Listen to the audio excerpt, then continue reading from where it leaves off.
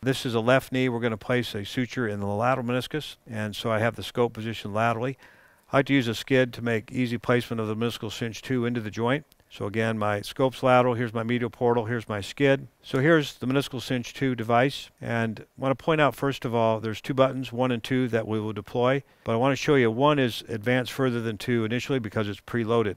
The other thing is I like to use a depth stop, and typically I like to go to 18 millimeters. Uh, you can set anywhere from 12 to 18 by 2 millimeters. It works like this, where we pass the black depth stop over the meniscal cinch 2, it locks into place. You can see the 18 right there, and there's the 18 millimeters exiting out the depth stop.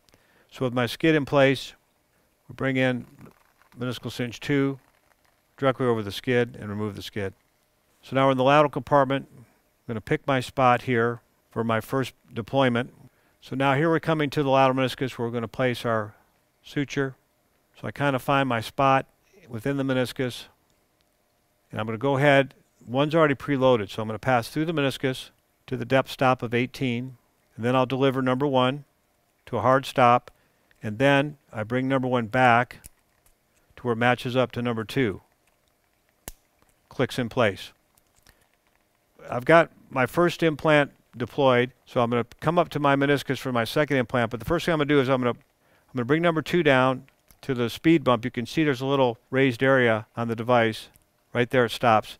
So I bring number two down to that speed bump. And that just brings extra suture into the joint, which will make securing the knot much easier. So now I'm going to come to my next chosen position right here. I'm going to come through the meniscus again to my 18th depth stop, 18 millimeters, as so. And then I just bring number two all the way down. Hard stop there. So let's bring it back to match up to number one. And there was a click right there.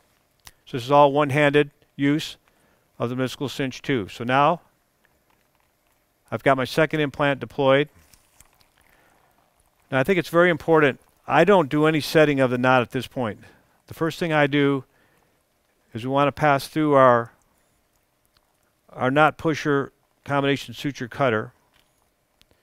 And what I like to do is I like to hold the scope and I like my assistant to pull directly in line of the shaft of the knot pusher to get the slack out.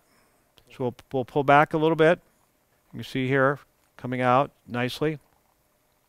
Then I like to end up toward the first implant position. So you can see. Then I come to number one spot here We'll do our final tensioning here. So you can see it's nice and tight. And then we just cut it off right here with our knot cutter. So there's our final suture in place. So we've got excellent tension. You can see here we've got excellent tension on the suture, all one-handed. Very simple to use. Very pleased with that.